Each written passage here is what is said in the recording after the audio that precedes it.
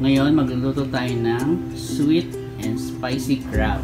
Okay? Or, yung pa tawag nila peppered crab. Eh. So, we're going, we're going to need ayan, alimasag or blue crabs. Okay?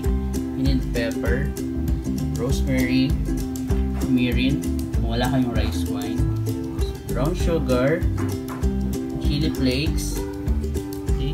tapos yun yung sibuyas, bawang, tsaka yung luya. So make sure na naka-mince yung luya, bawang, and sibuyas. Okay?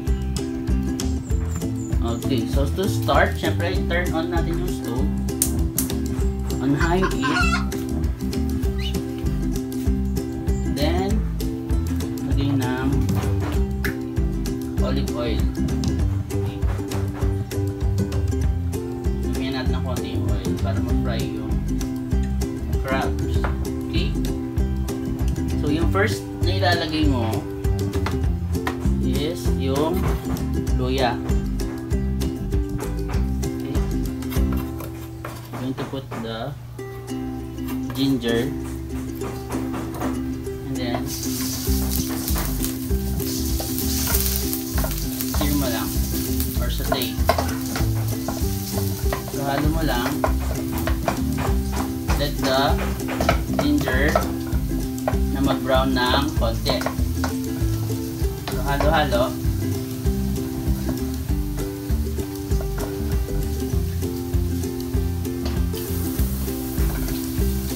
And then you add the garlic.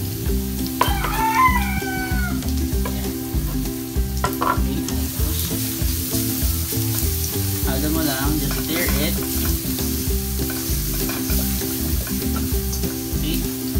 Stir or saute continuously so that hindi masusunog yung bawang at luya. Okay? And then you add your ginger. Or your onion pala. Sorry. Your onion. So put in your onion.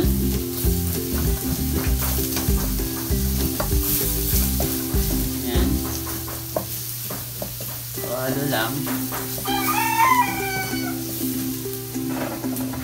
Natin konti yung oil. So you use olive oil, okay? Para healthy. Okay, so yan. And then, I forgot pala kanina to add butter for our ingredients. So, just add the butter. So, okay lang naman na huli siya. Para hindi masunog. Okay? So, just melt the butter. Konti yung apoy. Then, halo lang. At this point, pwede na tayong maglagay ng rosemary.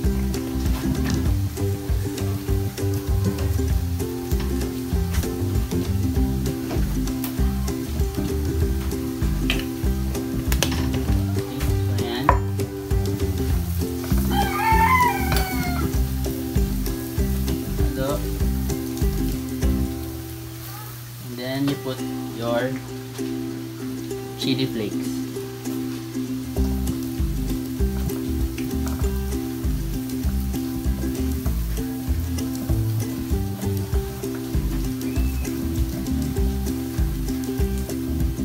And nung mirin, kung walang rice wine, mas ma- masarap to kasi matamis-tamis. Sige lang.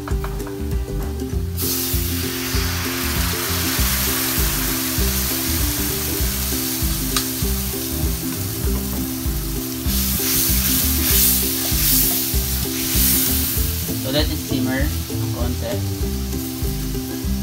And then you put your brown sugar.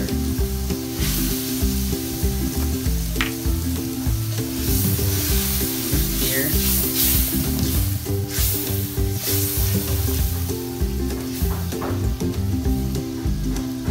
And then, tsaka mo lagay yung crabs natin. Okay?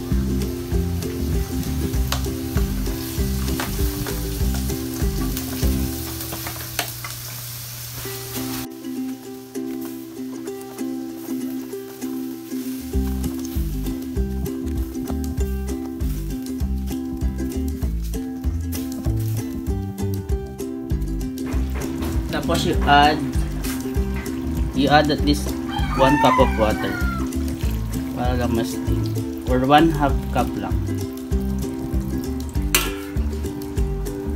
And then haluin mo. And then you cover let it simmer for at least 5 minutes.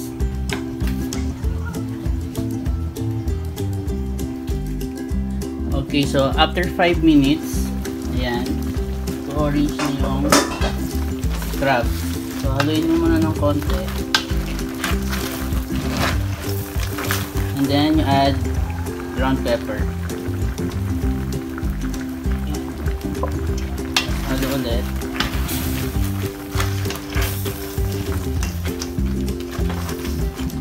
And a pinch of salt. Pag gusto nyo malapot yung sabaw, ayan, kung malapot yung sabaw, lagyan nyo ng cornstarch na dinesolve sa water. Pero optional to kung ayaw nyo, no? Kasi kami gusto namin malapot. So, we're going to put the cornstarch.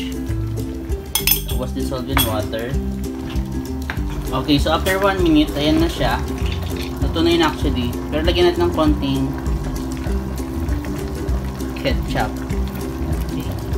Para magkulay sa sauce. Para maging siyang konting para hindi anemic. Okay. So, ayan. Halo lang. That's it. Luto na ang spicy or sweet and spicy crab natin.